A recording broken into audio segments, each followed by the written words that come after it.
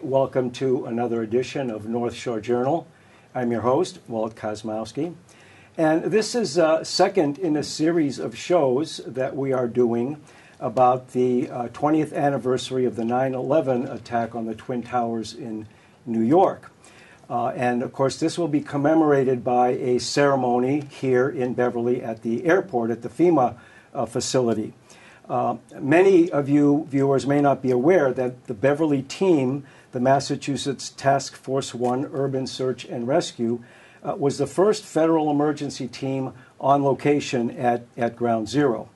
And um, my, my guest today, uh, as always, is Mark Foster. Mark. Hi.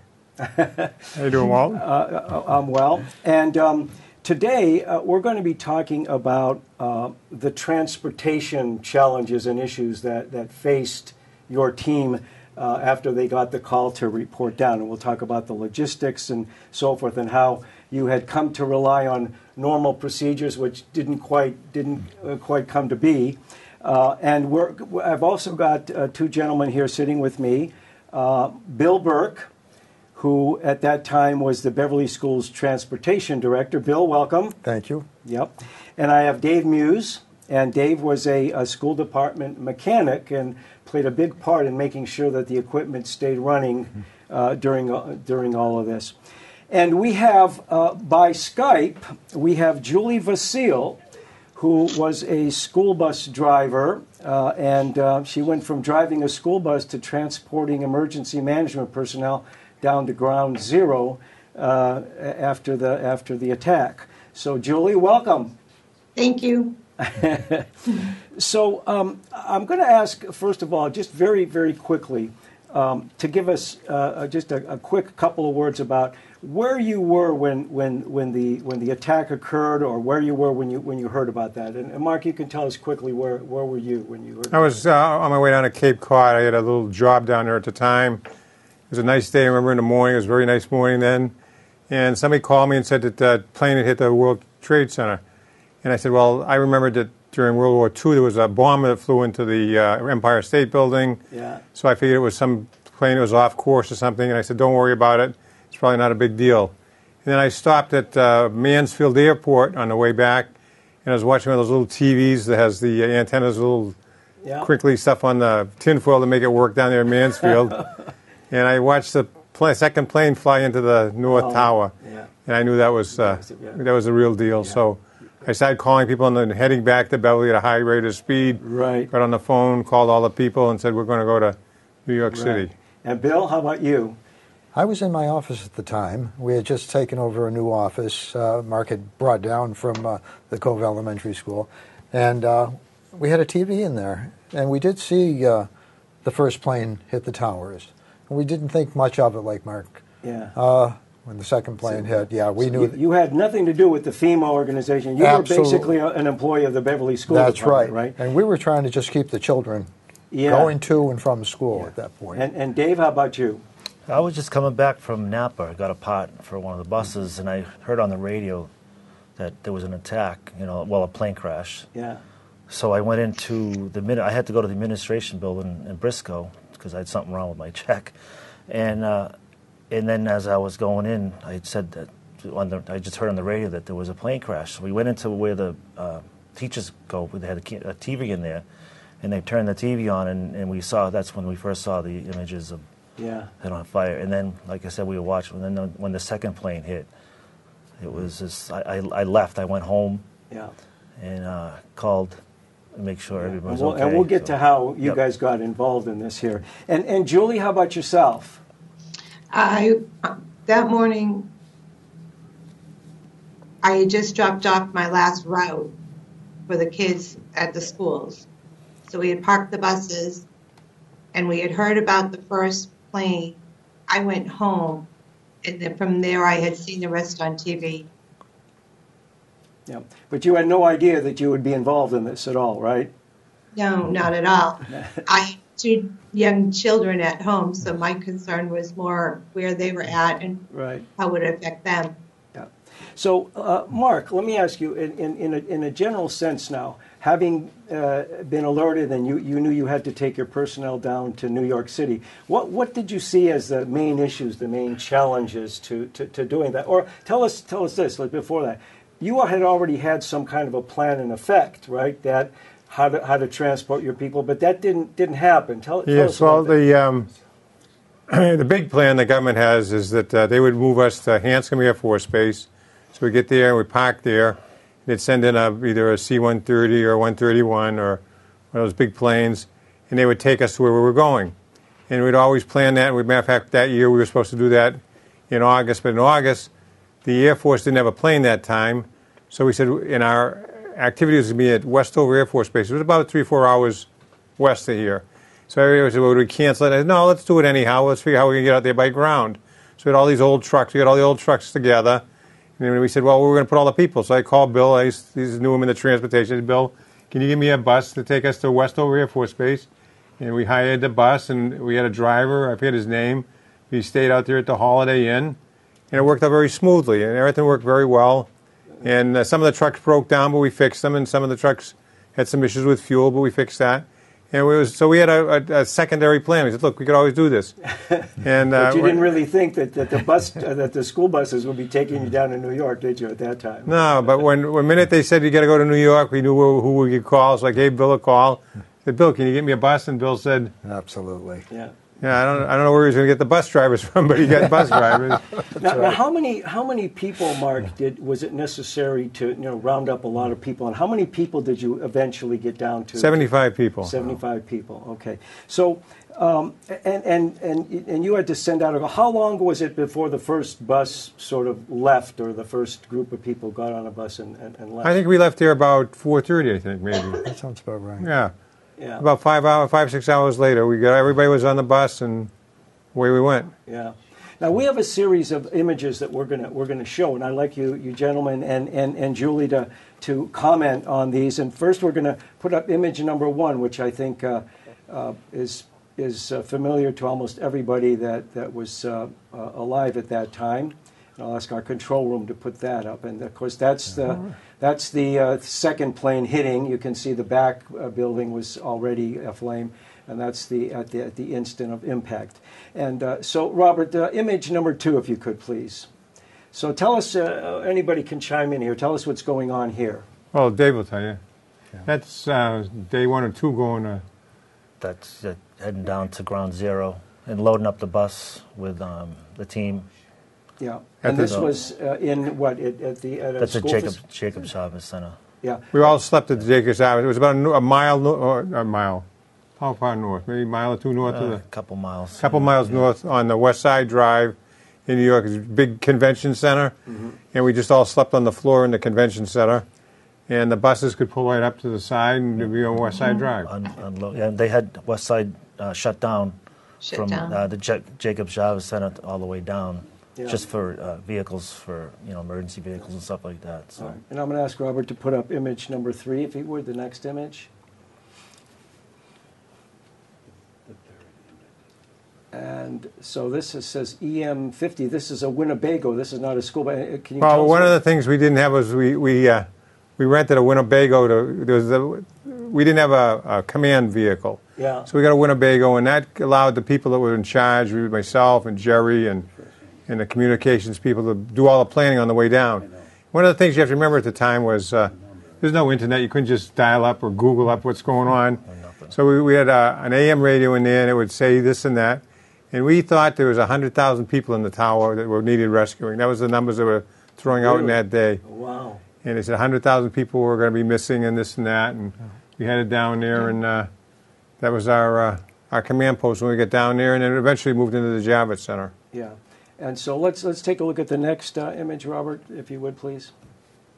And uh, so tell us what's happening here. Looks like a convoy getting set up. I up. think it's actually coming home, right? that's coming home. Oh, this is This coming home. home. Yeah, because uh, there's, a, there's a bus, there's a, an odd bus at the end, right? Yeah, that's right. the uh, uh, the bus that Bill got us. Yeah.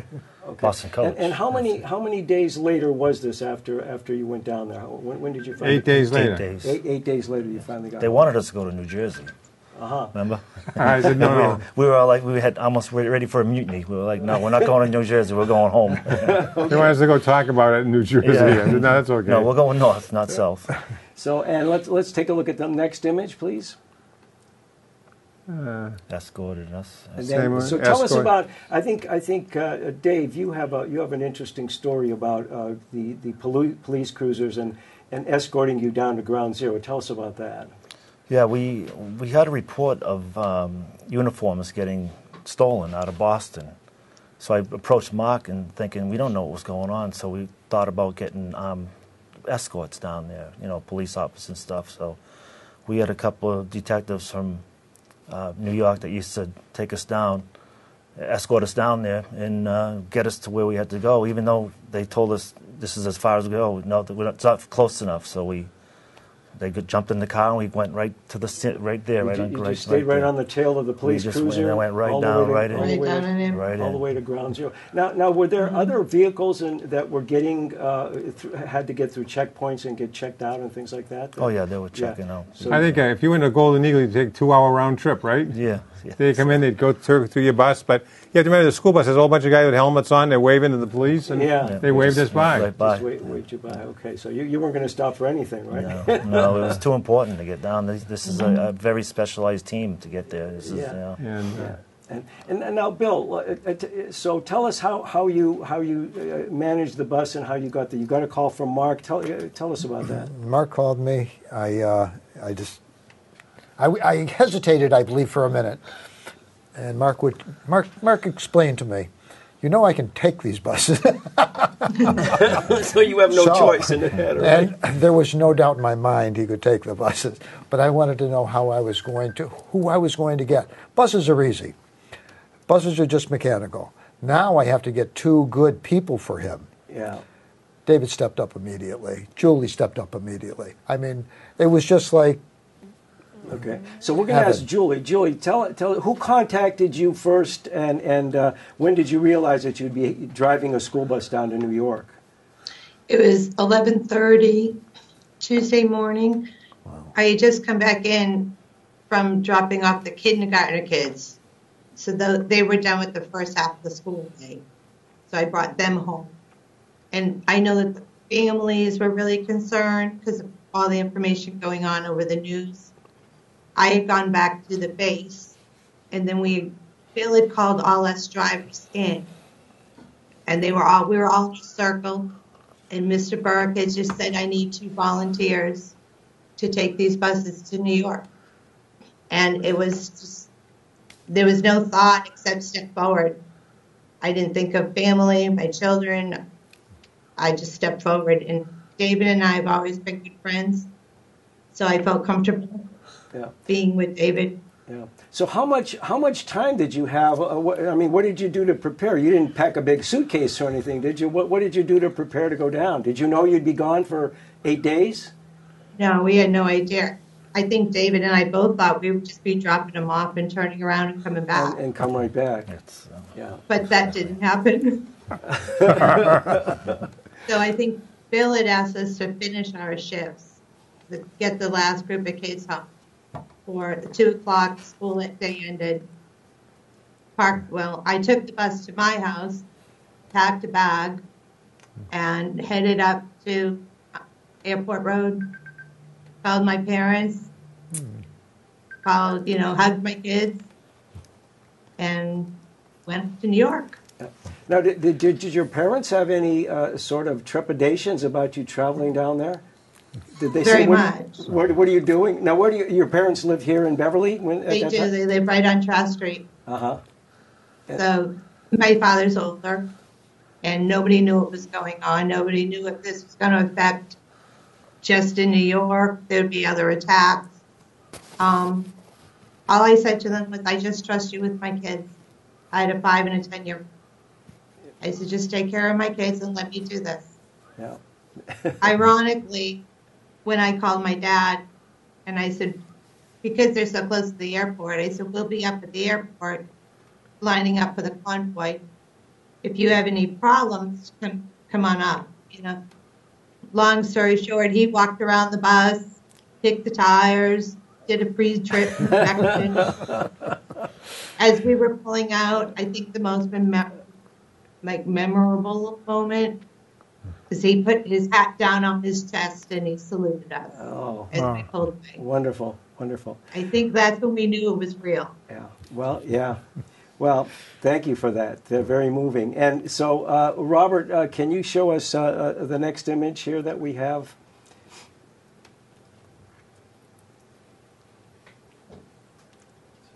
And uh, who wants to chat about this? What's happening here? Uh, I think that's who those two people. Are those part of your, your group? or- Yes, they are. Because we had a an old I uh, see the Cuckbee pictures. truck and a, Yeah. a Blazer, and Yeah, you can see the spare tire in the back of that truck Yes. there for the bus. I, put yeah, I think there. that was actually at Westover. That was the first time we went to Westover, and it worked out very well. Oh, Yeah. okay, Because I'm not so sure this- that's bus is 38, is okay, it? This Yeah. was the, Oh, the dry yes, run then, yeah. huh? It was The our dry dry run the time yeah. before, the yes. time before. yeah. Uh, and and uh, another image, Robert, the next image? I think That's at Westover Westover. also. It's the canines, kind of showing the mm-hmm. fleet we put together to go to Westover. That's the same fleet that we took down to 9/11. Okay. Yeah. So, so it's really serendipitous that, that you, you by, by accident, really, as a second choice, you, you went with the buses, and that's, that's really what happened during the, the actual event, right? Oh, we went with the what, our first choice. I I like to use local people, right? People. Right. That's what No, we're I in mean, you were supposed to be you were supposed to be flown down, right? So, Yes, yeah, that was yeah. that was that was the the. It's always great when you say how you do, not who are you. How you is how are you, not who are you. and uh, uh, do we have anything else there, Robert? Any other images? Uh, You kind see. of lost track. And so this this is uh, uh, kind of convoying through. I don't know where. Do you know about where about this this might have been? No, not really sure. Another convoy of something, and Yeah. And uh, anything else, Robert? And oh, so there's this a is- team with the buses in the in the picture too. That's in. yeah, That's and when we're that- coming back, Okay, and yeah. that's all Yeah. of the uh, uh, task force number one people. Yeah, we stopped at the um, Ho- um, Burger King or Howard Yeah, John. a, a Burger King it was. Yeah. Burger King on the Mass Yeah, it was Pike. on the Mass pike. yeah. Yes. So the dogs could take a break. Yeah. Yeah. And uh, I also have in front of me here, and I'll ask Matt, my cameraman, to zero in on this. Uh, another image, a group shot, and uh, I think uh, Dave brought uh, down a little bit. uh. Dave brought this in. And uh, so, tell us uh, what we're looking. Can you can you zoom in a little bit further on that, Matt, if you could? So there's Dave right there, younger Dave by 20 years. With the dog biting me. And there's a dog biting him on the fanny somewhere over there. See the Practicing. dog? And that's George W. Bush, number 43, I guess, and uh, the uh, president and the rest of our team standing there. Right.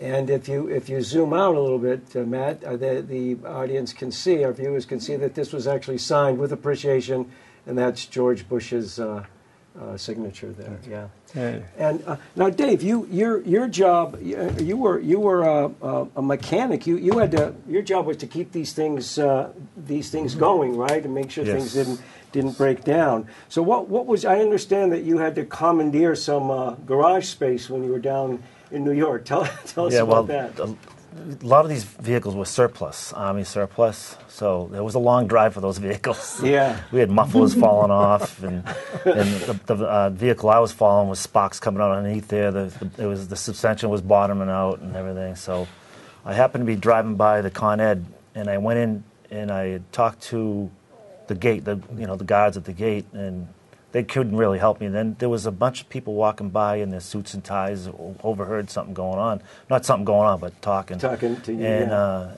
approached and asked what was going on, and I explained what was happening. And they said, "Whatever this man needs, use anything that we have. You know, the garages, any tools, anything." So I had a whole shop with welders, cutting torch tools, everything. And they all yeah. So you had everything you needed. everything right? needed. Yeah, I welded the muffler on, fixed the suspension. I mean, I did uh, pretty much everything in there. So. Now, how many how many trips did you make uh, back and forth? Just one trip each way. Just one trip. Okay. But, but Dave every day would go a couple times with them. They would get, yeah, two o'clock in the morning. They wake me up, you know, after having one hour sleep or something, and going down there at the middle of the night was by myself was just totally Yeah. unbelievable. Especially that night it rained. Remember it rained out Yeah. and everything was just. It was like a Batman movie. That's how I look at it. It was just dark, dreary. So you were going back and forth to bring parts, or do, or what? what People, Was, mainly. People, Oh, yeah, people. some some, log- some logistics too, but people mostly people. Yeah. Yeah. yeah.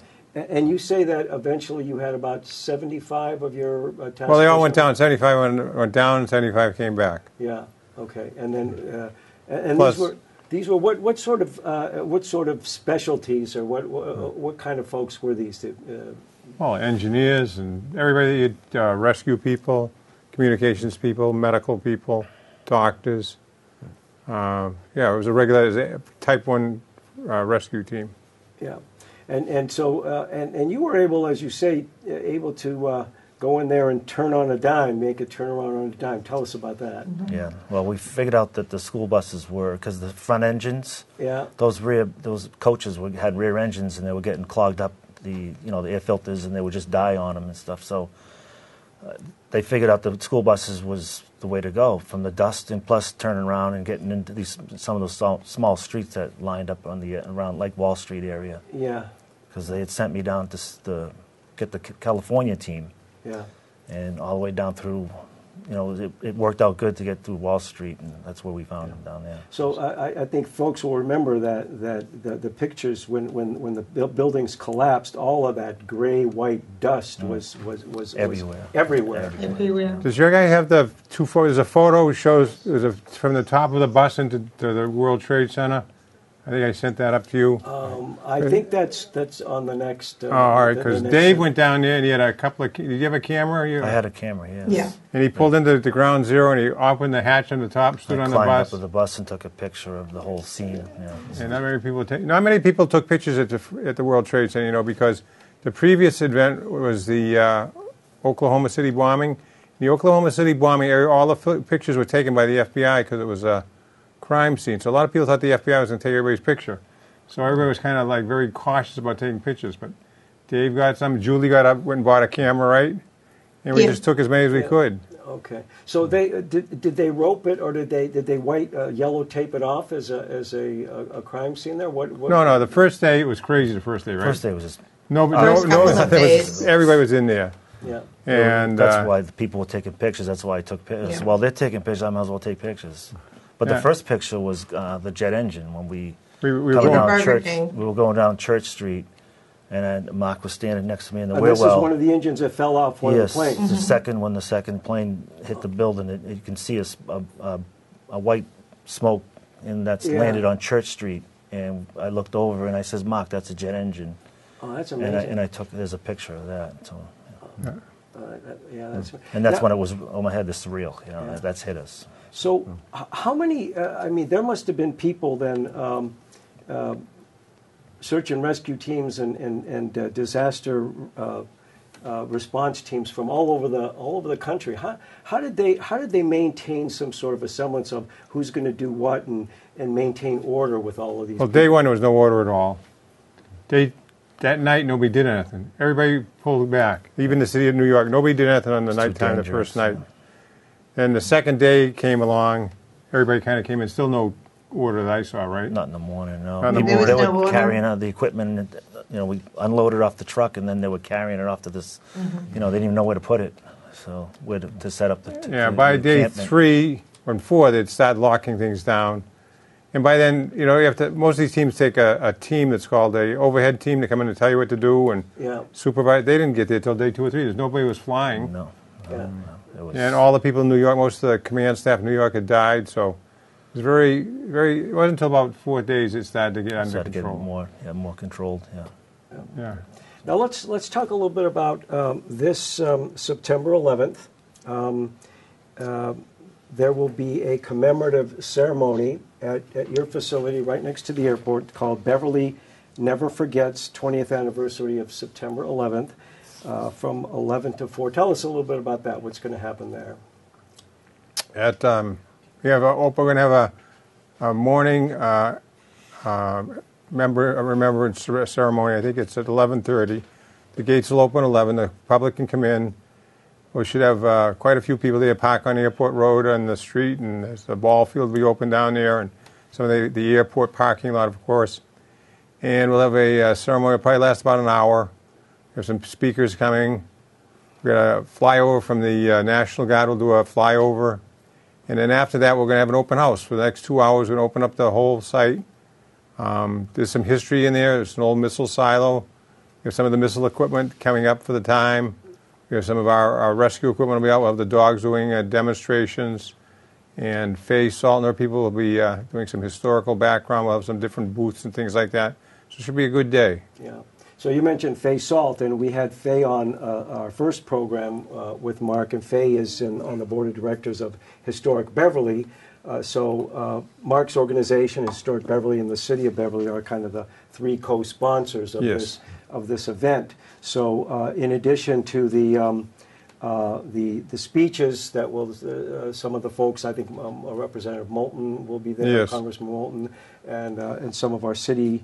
Uh, uh, Joan Lovely, I believe, our state senator, will be there Oh. as well. And then afterwards, there will be uh, guides and and uh, uh, volunteers to take folks around. As you say, there's an old uh, missile silo. Uh, We have a museum, a 9/11 museum. there's a 9/11 museum that they'll be able to. And uh, I might add that uh, um, BevCam will be there, and we will be able to broadcast this event. We will be broadcasting this event live as, as it's taking place, and we'll also be, be streaming it on YouTube and on our uh, on our website. Uh, and and as you say, there will be a flyover. Yeah. Um, uh, by the is it the, the National Mass Guard? National Guard, yes. at the, at the National Guard that, that will be happening as well. And uh, the public is invited, right? Yep. Everybody, everybody uh, within the sound of our voice uh, uh, is, uh, Come on down, have a great time. yeah. So Meet that, some nice people. the, the, the, there'll be parking uh, uh, ahead of the, oh, the, the gates there. there. There's a big soccer field there and so forth. Yeah, so they usually have parking there when they have a near show. There's plenty of parking all out in the streets there, right? Yeah. On Yeah. the one side. And then so at, and at 11 o'clock, the gates will open because it's a secure facility, as anybody who's driven there knows. And then all the people will, will come in, and there'll be about a 45 minute to hour uh, actual ceremony there. Right. With, uh, and there'll be some bagpipes playing as well, I understand. Oh, you know, a typical fire department memorial, yes. yeah. And if, uh, if, if folks want to get a little bit more information, I'll ask Robert to put up, this is your, your website and phone number. So uh, There you go. www.matf.org. And uh, I went on that site, and, and right on the front, uh, the home page, there's a big long article. The first thing you see is an article about the um, Beverly Never Forgets uh, commemorative ceremonies which uh, which uh, you can you can read and get more information. And that number is where, where does that ring? Is that a general number? Uh, That's the main number up there, 978-922-5680. Five six eight zero. So if you want to get some up to date information, you can you can use that. So uh, anyway, uh, we're we're just about out of time, and I do want to I do want to thank uh, my guests, Mark Foster and uh, Bill Burke, who was with the Beverly uh, School Transportation uh, Group uh, at, at, during 9/11, and Dave Muse, who made sure all the buses were were were uh, running correctly, and Julie Vasile from you're, you're tell the folks you're you're actually sitting in North Carolina right now, are you not? South Carolina, Oh, I'm sorry, Myrtle South Ca- Beach. Myrtle Beach, South Carolina. So, uh, Julie, thank you for joining us Thank via you for having me. via Skype. And Julie was called up one day. She was driving kindergarten kids to school, and the next day she was driving emergency response personnel to Ground Zero. Thank you, Julie, very much. Thank you for having us. Yeah. And I'd like to um, remind our viewers that you've been watching North Shore Journal. I'm your host, Walt Kosmowski, and we'll see you next time.